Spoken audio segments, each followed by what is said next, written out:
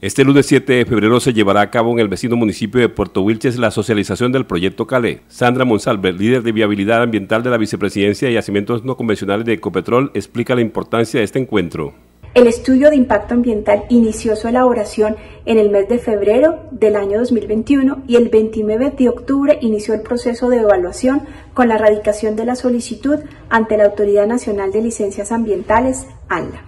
Dentro de las actividades a licenciar se incluyen la adecuación y el mantenimiento de vías, la construcción de una locación hasta de 4,6 hectáreas, la perforación de tres pozos, un pozo captador cuyo objetivo son acuíferos profundos no aprovechables, un pozo inyector en el que se dispondrá de forma segura los fluidos provenientes de las actividades del proyecto piloto y un pozo piloto en el que se aplicará la técnica de fracturamiento hidráulico en pozos horizontales hasta 20 etapas de fractura. En este espacio, comunidades y autoridades podrán formular sus preguntas con respecto al proyecto y al trámite administrativo por parte de la ANLA. Es importante resaltar que el fracking es una actividad que no está aprobada en el territorio colombiano. Lo que se aprobó fue el desarrollo de unos proyectos pilotos de investigación integral cuyo objetivo es evaluar la viabilidad técnica de su aplicación en el territorio colombiano y el aprovechamiento de los recursos provenientes de este tipo de yacimientos a través de procesos participativos, procesos científicos y con total respeto por el medio ambiente.